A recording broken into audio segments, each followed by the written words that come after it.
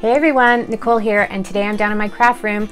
I have my studio lights on, I put on my microphone, and I thought I would create a quick card using my new paper collection with Wild Whisper Media Assemblage. So if you don't know about this paper, it is using mixed media techniques, mixed media products to create different looks on each page. So uh, if you don't have all the products, but you like a look and you're considering buying it, or maybe you don't like the mess, mess of mixed media, but you like the look of it.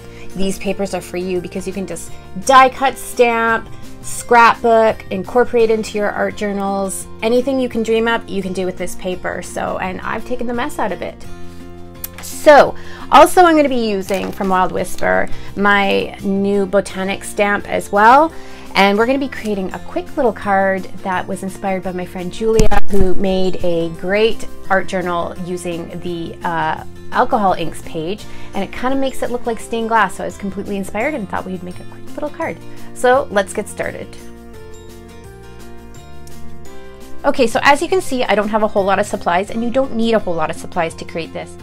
I'm using the Gina, Gina K permanent ink and I'm just gonna load up my stamp with ink. All right, so let's check how that's stamped. That looks great. And the reason why we use the stamp platform, so if you need to add more ink and have precision stamping, that's what's great about it. So I'm gonna focus around these leaves and some of the flowers, and I'm gonna ink that side up. Okay, so as you can see, the image isn't totally stamped. Actually, that's really pretty just on its own, but I'm gonna be die cutting this area out here. So I'm pretty happy with that. All right, so I've just die cut out just this simple little circle and you can kind of see some of the stamped image on there. And it's just gonna be a little pop of color. So I'm gonna take the bottom layer and I'm gonna glue it into place. And I'm keeping all the design really nice and plain so that that paper can pop. Once you have your dimensionals on, you're gonna line up the stamped image on the media assemblage paper to the stamped image on the white. And then I'm going to just write down in my best chicken scratch I can the word joy.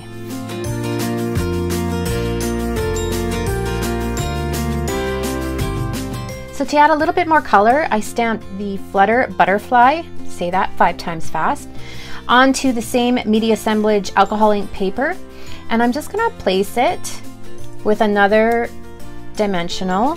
These are the little teeny tiny ones from Scrapbook Adhesive. I love these. I'm gonna curl the wings.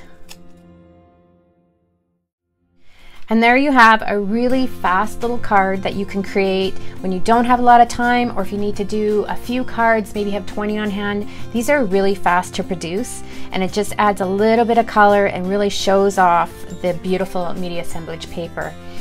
All right, you guys, that's it for me. I hope you have a super crafty day and thanks for stopping by and make sure you hit the subscribe button on my YouTube channel. I am rebuilding my channel, so every subscription makes me look super professional. All right, guys, thanks again for watching. Bye.